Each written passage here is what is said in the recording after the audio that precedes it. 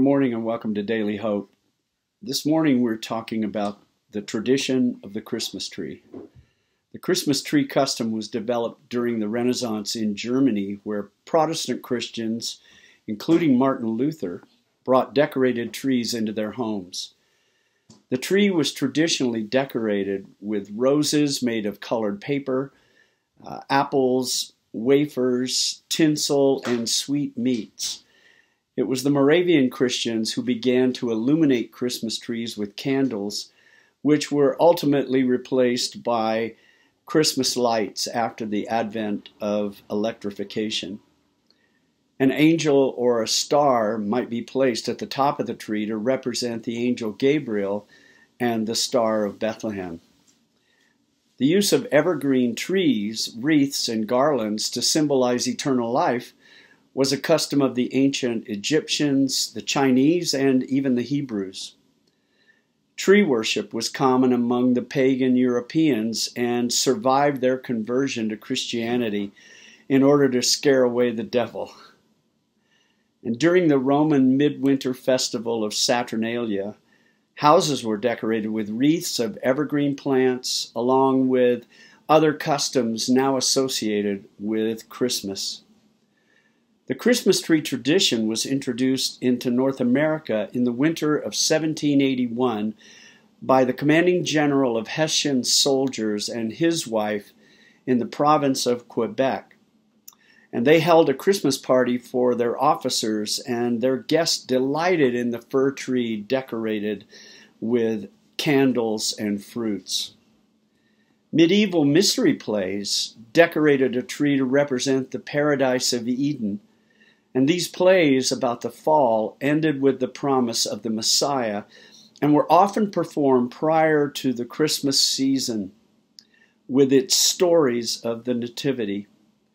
And in such plays, a tree decorated with apples to represent the forbidden fruit, and with wafers to represent the Eucharist or the Lord's Supper and its redemption, was used as a setting for the play. The apples were later replaced by round objects such as shiny, shiny red balls. The tree is thus a symbol of God's gift of life from Genesis to Revelation, from creation to the New Jerusalem. The tree cannot be rejected as a purely pagan symbol, for God does not reject it in Scripture. It has a very direct link with God's providential salvation message. And though secularized in essential, the essential meaning of the Christmas tree is still one of life in terms of the person and work of Jesus Christ. It's decorated to represent the beauty of God's gracious gift, and fruits were long used as decorations and represented the bountiful blessings that fulfilled mankind's basic needs. The star or the angel atop the tree represents the miraculous nature of God's new tree of life, Jesus Christ and his cross. All of Christmas has been profanely secularized, but it's not the use of the tree that's to blame. Its long usage as part of the Christian tradition and the Christmas tradition and celebration represents the fact that the past generations, following John's revelation, reclaimed its use. They took dominion of that symbol for Jesus Christ. And the problem with our modern celebration of Christmas is not its close association with the tree of life, but its increasing separation from the new tree of life, Christ incarnate. God redeems man and regenerates his heart to serve him.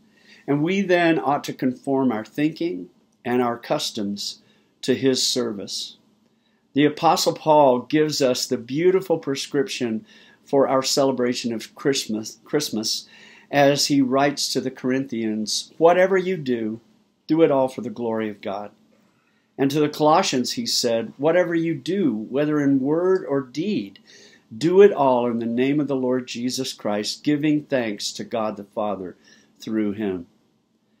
If we shed as unholy everything that has been used by evil men, we will be in constant retreat and surrender.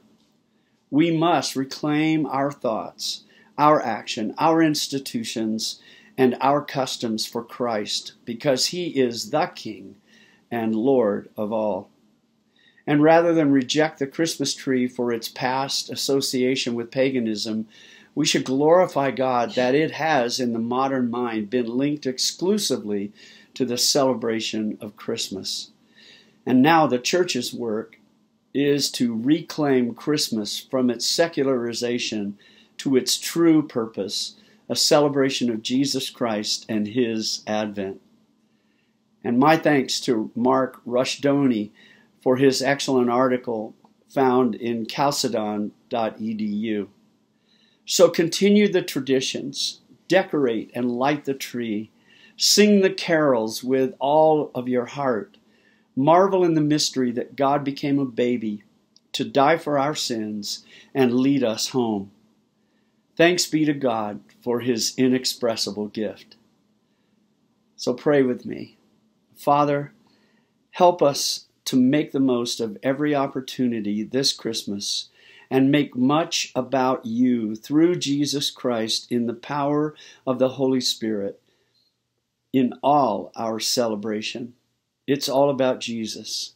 It's all about you, Lord, for your glory and fame. Amen.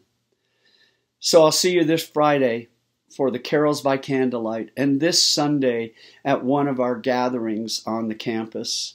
Invite a friend or friends to join you as we marvel in the majesty of the season. Merry Christmas.